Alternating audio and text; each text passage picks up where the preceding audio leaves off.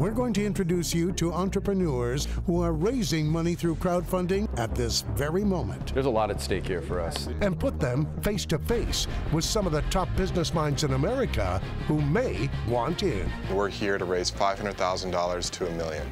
They've got 30 seconds to pitch their company. I'm all in with Whole Life. To the super panel and you. I'm Christopher Hubbard, and I'm going to change the world. For the first time on TV, see who has the passion, the dedication, and the right business plan to convince the crowd, the cash crowd. Every deal pitched on the Cash Crowd is open to a crowd of accredited investors who can get in online. But know this, while startup investments have the potential for explosive growth, they're also potentially extremely high risk. We'll meet the entrepreneurs in a moment. First, let's meet who they're here to pitch to. Lynn Tilton, self made billionaire and owner of the largest woman owned business in America. She's invested in and restructured more than 240 companies. She owns MD Helicopters, Rand McNally, Stila Cosmetics, and more than 70 other companies. Eric Ryan, co founder of the eco friendly cleaning product company Method, a brand he started in his apartment and turned into one of the fastest growing consumer packaged goods companies in America, with sales over $150 million in 2013.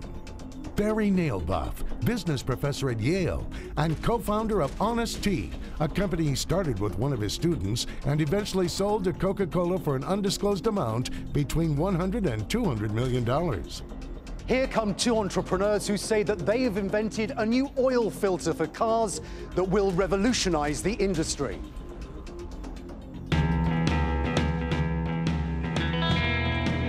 My name is Christopher Hubbard. I'm the founder and chief scientific officer at HUBB Filters. HUBB Filters is the evolution of oil filtration as the world knows it. I'm the innovator, I'm the R&D guy, I'm the problem solver. I let the financial planning and the strategic planning stick with the guys that do it for a living. They really want this business. I'm Scott Killips, and I'm the president of HUBB Filters, Inc. This is much more than just an oil filter. Even though it's very cool, this is built like a tank with the carbon footprint of a butterfly. When I looked at this, I said, wow, this is something that I got to get involved in because if I can't sell this product, I'm a pretty lousy marketer. He's got vision for the product and how the product's going to get to sales. I invested myself in the company. I'm investing some additional capital in the company now. I put over 2 million of my own dollars into this company. I've liquidated my retirement accounts. I've leveraged my family to the max. This is bigger than I am. Scott Christopher, welcome to the Cash Crowd. HUBB is raising money on the crowdfunding platform Microventures. The deal that they're pitching is open to the accredited investors online and the ones sitting right here in our studio. Scott, how much are you looking to raise? 500,000. Okay. Uh, you've decided to do the pitch. Christopher, if you could uh, walk off for us for a moment, please. Scott, the Cash Crowd is ready for you now. Thank you you. have 30 seconds. Thank you. This is the HUBB filter, and we believe it will revolutionize oil filtration. What, what it uses is a dual filter system, which is unprecedented in the market. It's been patented. It also employs a stainless steel media, and combined, that provides unprecedented protection for your engine. So effective indeed that you can extend your oil change interval by at least 2x. There's another benefit as well, and that's the environment. This, this filter is permanent, as you can see, and it's cleanable. So it doesn't end up in a landfill like most disposable filters Scott, that are on the you're- market. You're out of time, I'm afraid. Thank you very much. Christopher, come back on in, come back on in uh, and join us. Uh, it's up to the panel now. Lynn, why don't you kick us off?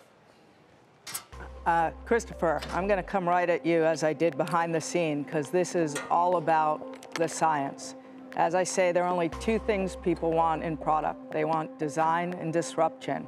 So I look at the design and it's elegant, and that gives me some hope because even though it's going to go under the hood, it's beautiful, but it's all going to be about the science, and you need to explain that to me and to the people out there on why this is truly different than everything else we've seen. Briefly, if you would. Sure, Lynn. This is different than any other filter in the marketplace. It filters from the outside in in the primary filter and then the inside out into the secondary filter. It uses a two-stage pressure differential valve that equally distributes contaminants across the entire surface of the media. Eric? Guys, you're looking at two different business models at the same time on a small capital base. You've got the fleet size and you've got the consumer size. Does it make sense to pursue two models? Why not focus on one first? It's a great question. Um, our view is, is that the fleet market, uh, our, the big filter that you see sitting in front of you, Eric, will be ready for the marketplace in 2015, probably Q1 2015. So our primary focus right now is on the filter that you have in your hand. And we're targeting the quick lube channel, which is a vast market, 50,000 outlets out there, as well as fleets that utilize that market. Uh, and those fleets could be you know, municipal fleets as well as commercial fleets. Professor. If I'm going to change my oil every 20,000 miles rather than 10, is that going to mess up the warranty on my car? So the Mag Magnuson Ferguson Act guarantees you, unless a manufacturer is going to give you that part for free, an outside part cannot void the warranty as long as it meets up to the factory specs. And, and I'll tell okay, you this. Okay, good. Is Jiffy Lube going to be happy that I'm going to go there half as often now? Why are they going to sell your product? Uh, Jiffy Lube is really, we've had discussions with them and they're very excited about this product opportunity because what we're recommending for their customers is that they come in at the same frequency, but instead of having the oil changed every time, they have the oil changed every other time.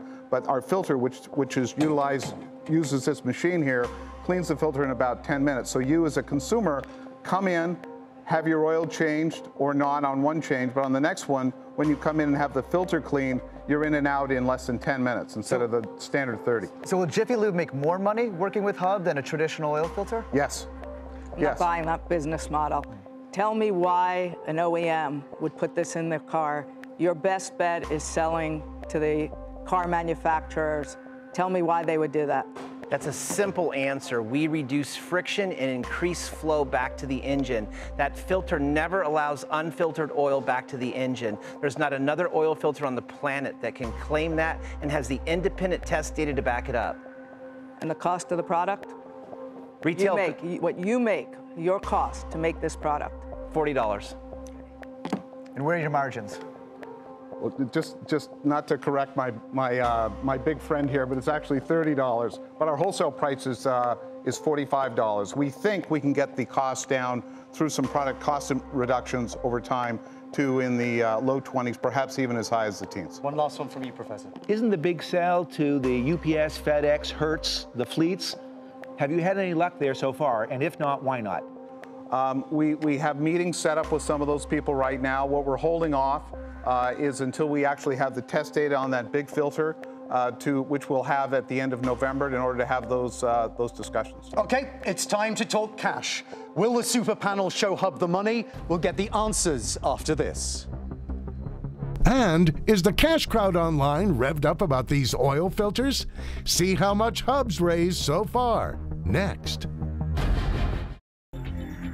And welcome back to the Cash Crowd. This is the moment of truth for Scott and Christopher, who pitched a disruptive oil filter technology that they believe will revolutionize the industry. You'll remember they're looking to raise $500,000. The deal went live earlier in the week on Microventures. They have commitments of $85,000 but HUBB must raise a minimum of $100,000 or none of those commitments are funded. Guys, it's decision time. The minimum investment here in this deal is five grand. Eric, they said they'd like to hear your verdict first. Christopher and Scott, I do not like that shirt, but I love your passion. I think you've got a great value proposition here, both to the trade, to consumers, as well as the government, if you can make the science work.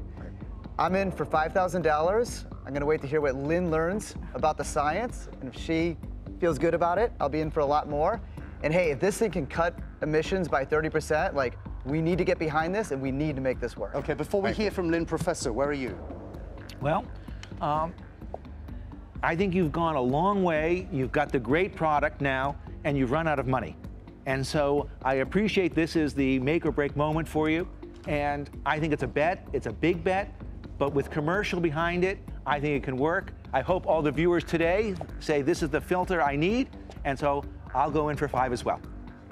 Okay, uh, Lynn, final well, words. It's up to you, it would, it would well, appear. Well, Chris, I'm looking for the third-party validation. I've asked you to send me those white papers. Um, this is my industry. I, I, I, think your business model's off, as we've discussed. I think this is an OEM play. I think this is something that needs to go in the car if it's special. I'm going to give you $5,000 as a vote of confidence because, Chris, I like you and I think you've put your life and soul into it. But if, about me? It's all about Chris today. Okay. It's the shirt. Okay. So, but but really, if the if the third-party val- validation is there, if the science works, I will be a big investor. Okay, okay, gentlemen, you needed to hit, in this instance, $100,000 for those commitments to be funded. Between the crowd and the panel, you have $100,000, so it looks like you're funded. How do you feel? Great. Thank you very, very much. Pretty darn good. Thank you very much. Thank you for all your feedback, too. Appreciate it. So what happens now? What's next for you guys? Where do you take this? Well, we got to hit the road with, uh, with our sales effort to validate everything that we've been talking about today. And I'm going to send Lynn everything she needs, and she'll share it with the panel. And we hope to have your support, Lynn, with some uh, OEMs. That would be awesome. I mean, you, you have fleets of cars in, in the businesses that you operate, Lynn. Well, no, I also have a, a very large automotive platform, and all the major OEMs are my customers. And this, I think, will- if it's if the science works, then the big buyer is the car manufacturers. I think this aftermarket model, the the money, the science, it may work, but the the business model, the economics, does not. Briefly, Eric. Yeah, I would love to clean uh, every one of these with Method Soap. Maybe we put a deal together. I can't wait to see uh, what model Okay. you guys figure out, and I think there's big potential here. Uh, we, we have to leave it there. Christopher Scott, thank you so And much. Eric, thank I'm you gonna call to you. our super panel.